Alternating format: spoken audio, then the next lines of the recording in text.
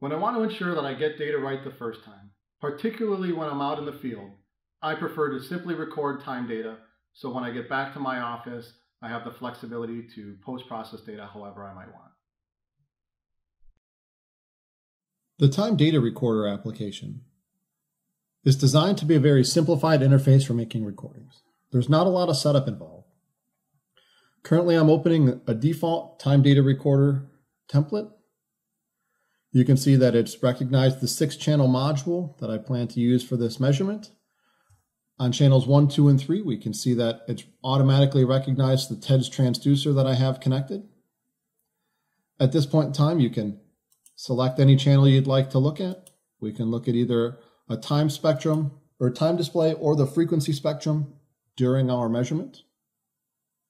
I can leave the default directory path and change the name of the recording to whatever I would like it to be. And then simply use the start and stop buttons to make our recordings. So I'll let it run for a couple of seconds.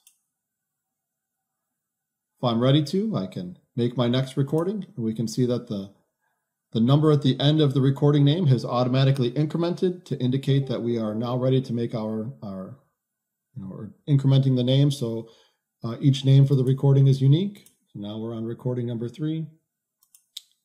And that's the time data recorder.